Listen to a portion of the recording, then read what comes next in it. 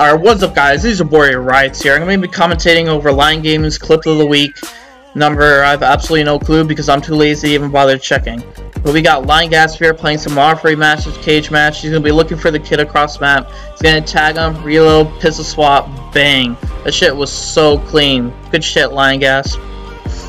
Alright, let's look at this one more time. Alright, he's going to tag the kid, reload, pistol swap, all the way across the map. That shit was honestly insane. But yeah, that's been it. Hope you guys enjoy. It's been your boy and I'm out. Peace.